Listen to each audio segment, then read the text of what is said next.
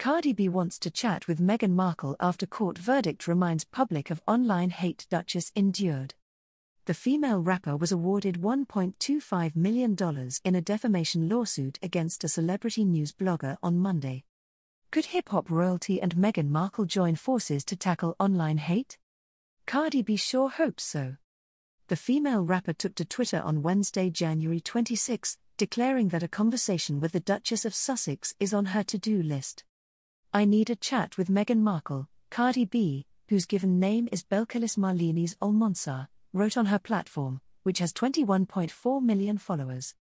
The up performer posted the tweet just two days after a federal jury in Atlanta awarded her $1.25 million in a defamation lawsuit against a celebrity news blogger who she says posted videos falsely stating the Grammy winning rapper used cocaine, had contracted herpes, and engaged in prostitution. The jury on Monday found Latasha Kebe, known online as Tasha K, and a company she owns liable for defamation, invasion of privacy, and intentional infliction of emotional distress against the rapper. Kebe's lawyers said in an email Tuesday that they disagree with the verdict and will file an appeal. Kebe began targeting Cardi B in early 2018, making degrading and harassing statements about her, the lawsuit says. On September 19, 2018, Kebe published a video of an interview she did with a woman who said she'd known Cardi B before her music career. The video includes the false, malicious, and defamatory statements that Cardi B was a prostitute, has herpes, and had suffered outbreaks on her mouth, and used cocaine.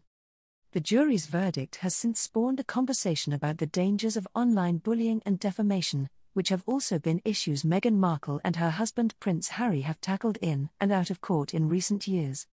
Earlier this month, a court found that Britain's Mail on Sunday invaded her privacy. The settlement brought a close to the long running lawsuit filed after the Mail on Sunday published a series of stories in 2019 based on a personal letter Meghan wrote to her estranged father after her marriage to Prince Harry.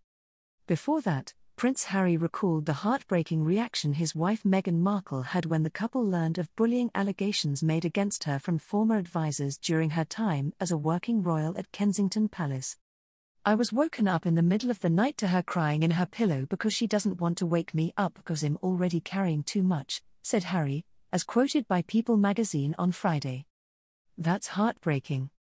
I held her, we talked, she cried, and she cried, and she cried the Duchess of Sussex and her husband also got candid in the couple's televised interview with Oprah Winfrey last March about painful palace discussions about the colour of their son's skin, losing royal protection, and the intense pressures that led the Duchess of Sussex to contemplate suicide. Similarly, Cardi B said the fake allegations made about her left her feeling completely helpless and vulnerable. Royal reporter Omid Scobie, who is said to be a friend of Meghan and Prince Harry's, commented on the similarities of the criticisms and allegations the Duchess and Cardi B have faced in the spotlight. This potentially sets new precedent for accounts getting away with and profiting from lies and defamatory claims under the guise of opinion or entertainment purposes, he tweeted of Cardi's legal victory.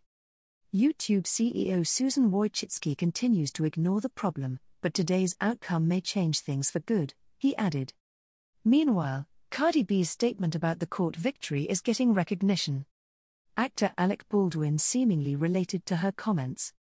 He published her statement made after the verdict on his Instagram account early Wednesday. In it, Cardi B says in part, after almost four years of repeated libel and slander against me, being able to walk away from this victorious brings me great happiness. I appreciate Judge Ray for conducting a fair and impartial trial. I am grateful for the jury and their careful deliberation over the past two weeks. I am profoundly grateful for the hard work and support from my legal team. Most importantly, thank you to my family and close friends who held my hand and helped me get the support I needed during this experience.